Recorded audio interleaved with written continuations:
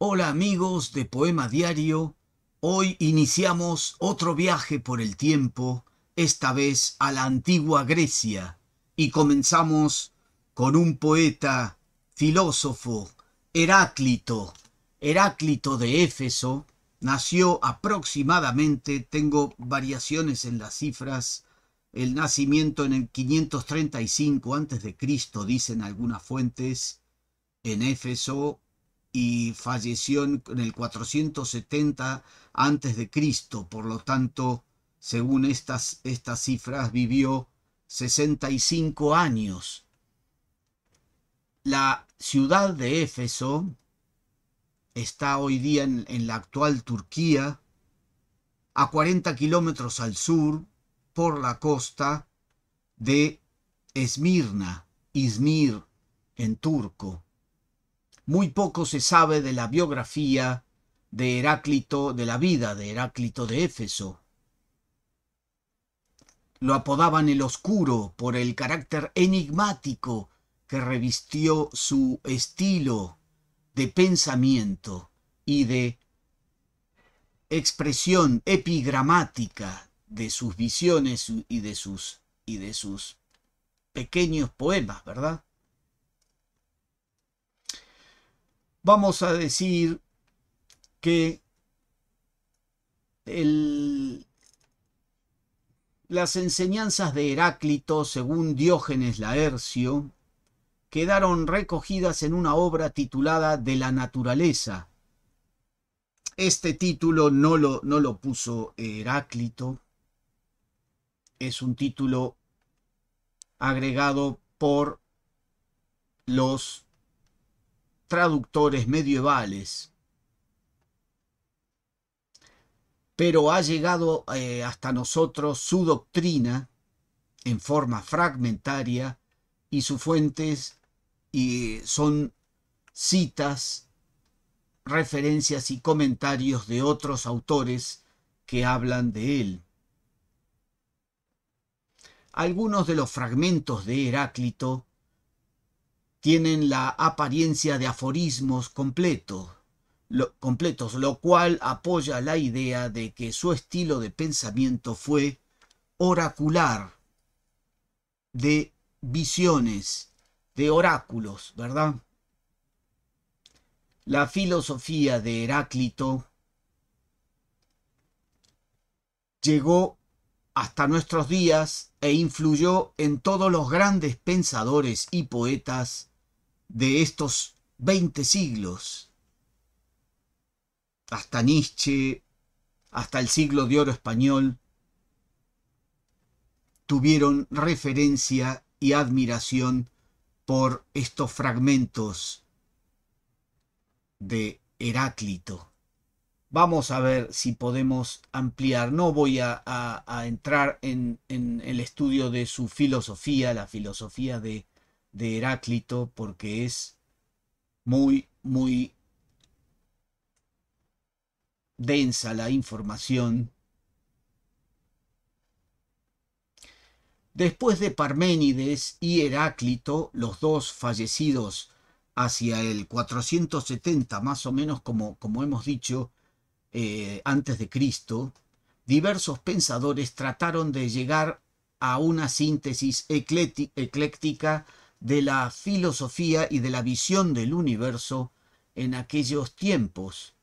Así los pluralistas como Empédocles transfirieron la inmutabilidad del ser de Parménides a los cuatro elementos, Anaxágoras a las homeomerías, homeomerías y los atomistas como Leucipo y Demócrito al átomo pero en todos ellos estarás también presente de algún modo el perpetuo devenir de Heráclito en las fuerzas que incesantemente combinan y gobiernan tales elementos. Ya en tiempos modernos, Hegel reconoció haberse inspirado en el pensamiento de Heráclito, cuya obra comentó admirablemente también Nietzsche, como, como hemos dicho. Platón contribuyó de manera decisiva a forjar, a forjar la imagen del filósofo efesio Heráclito. Vamos a leer unos fragmentos de sus pensamientos editados en una edición particularmente querida por nosotros porque es traducida y editada por José Gaos, el gran filósofo español, exiliado en México cuando la guerra civil. El texto fue editado en la Casa de España en México en 1941. La edición eh, electrónica la tenemos gracias a la página cervantesvirtual.com que depende de la Universidad de Alicante. Sobre el autor José Gaos, bueno, el, título original del libro fue Antología Filosófica, la Filosofía Griega, por José Gaos.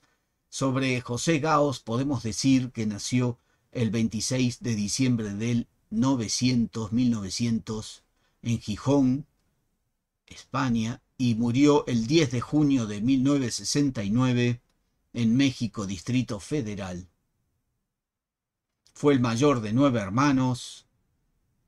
Tras vivir con sus abuelos en Asturias, se trasladó en 1915 a la casa de sus padres en Valencia y allí comenzó sus estudios universitarios. En Madrid, 1921, profesores Julián Besteiro, Manuel García Morente y José Ortega y Gasset.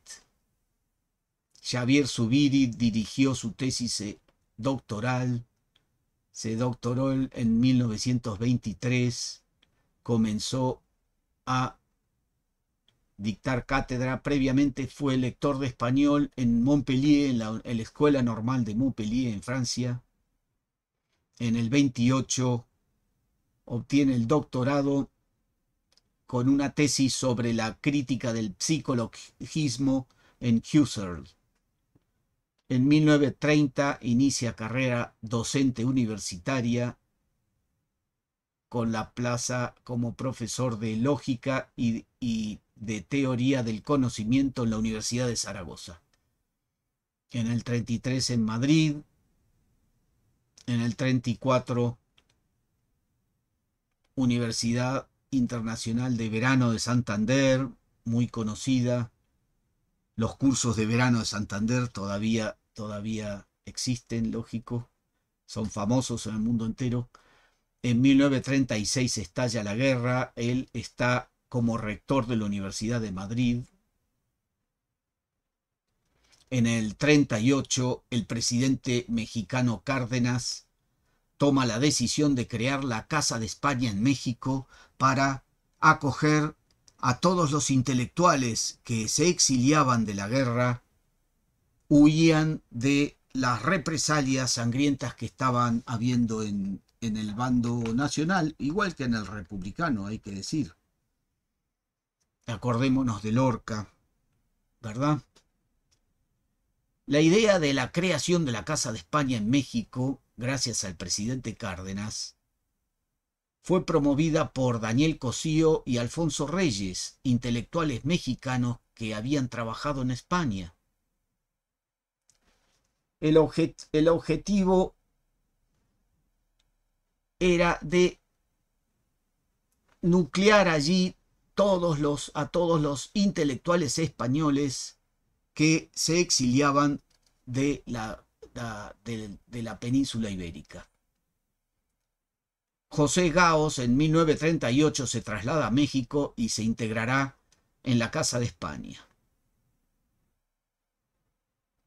En el 39 es profesor extraordinario de la Universidad Nacional Autónoma de, México, la UNAM.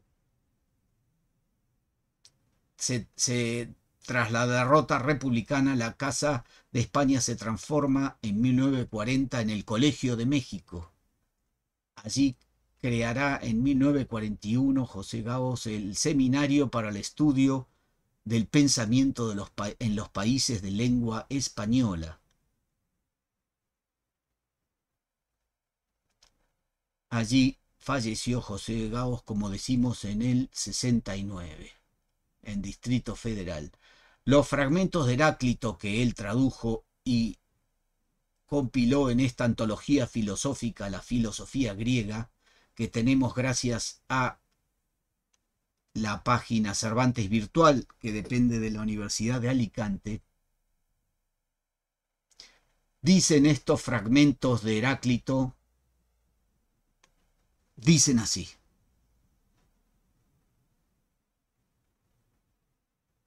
Sabio es quienes oyen no a mí, sino a la razón, coincidan en que todo es uno.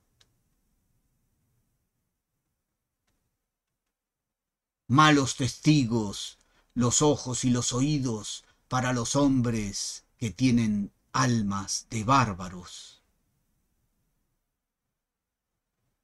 Si no esperas lo inesperado, no encontrarás pues es penoso y difícil de encontrar. Los buscadores de oro cavan mucha tierra y encuentran poco. La naturaleza ama el, el, ocultarse. El Señor, cuyo oráculo está en Delfos, ni dice ni oculta, sino hace señales. De cuantos he oído las razones, nadie llega a tanto como a descubrir que lo sabio está apartado de todo. Una sola cosa es lo sabio, conocer la verdad que lo pilota todo a través de todo.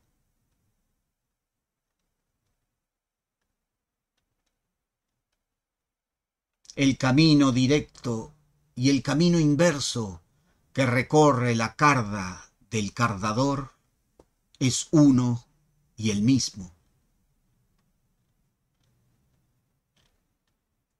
En la circunferencia de un círculo se confunden el principio y el fin.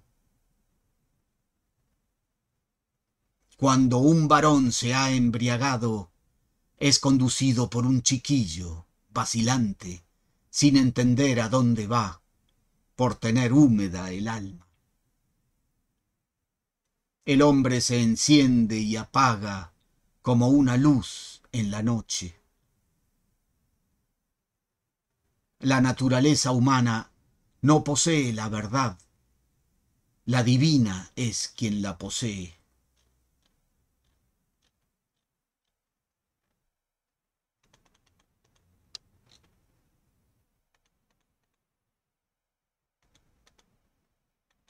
Y por último, la frase más famosa de Heráclito. No puedes embarcar dos veces en el mismo río, pues nuevas aguas corren tras las aguas. Esta frase, famosa en el curso de los, de los siglos, ha sido soñada, citada por todos los poetas y por todos los filósofos. Desde allí desde Platón hasta Nietzsche y, más allá. Un minuto de poesía cada día puede darnos una visión diferente de las cosas y puede hacernos recapacitar que las aguas cada día cambian y no son las mismas. Gracias amigos por ver este programa. Seguiremos con la Grecia antigua hasta pronto, amigos.